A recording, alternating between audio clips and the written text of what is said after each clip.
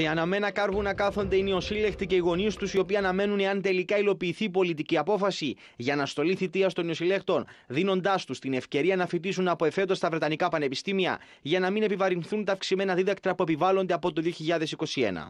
Τρέχαμε όλο αυτό το διάστημα και στο τέλος κανένας, μα κανένας δεν μπορεί να μας πει τι να κάνουμε. Με το Υπουργείο να απαντά έπρεπε να αναμένουν να, να γίνει προσωρινή απόρριψη και μετά να προχωρήσουν σε αυτές τις ενέργειες. Ήταν ξεκάθαρο ότι ε, η απόφαση αυτή συνεπάγεται η έγκριση του, του συμπληρωματικού προπολογισμού από τη Βουλή. Το λόγο τώρα τον έχει η Βουλή, καθώς για να υλοποιηθεί η απόφαση θα πρέπει να εγκριθεί συμπληρωματικός προπολογισμός που φτάνει τα 3,6 εκατομμύρια ευρώ.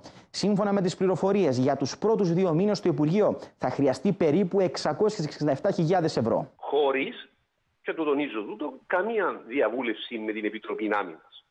Ε, η κυβέρνηση έπρεπε να προχωρήσει με την επίλυση αυτού του προβλήματος πολύ νωρίτερα. Το Υπουργείο Άμυνας ξεκαθαρίζει πως δεν υπάρχουν εναλλακτικοί πόροι για υλοποίηση της απόφασης εάν δεν εγκριθεί από τη Βουλή. Αν τυχόν δεν εγκριθεί αυτός ο συμπληρωματικό προπολογισμός, δεν θα προχωρήσει στην έκδοση του διατάγματο και δεν θα μπορέσουμε να δώσουμε την προσωρινή απόλυση σε αυτούς τους φοιτητέ.